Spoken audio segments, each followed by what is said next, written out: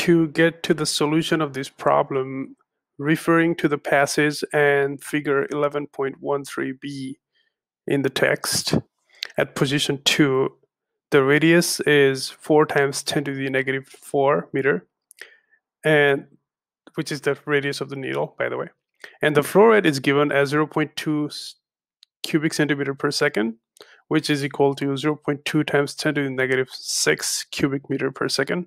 Now, if we use the definition of the flow rate, volumetric flow rate, it is Q equals AV.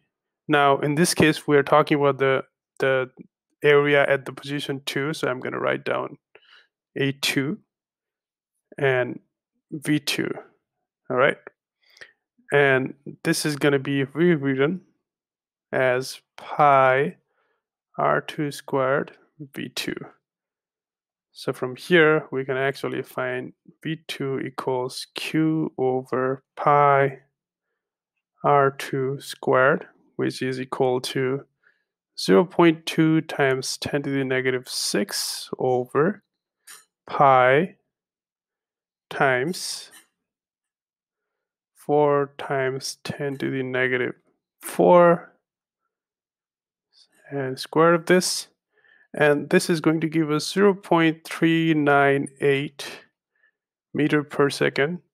And since this answer is very close to the choice D choice D should be the answer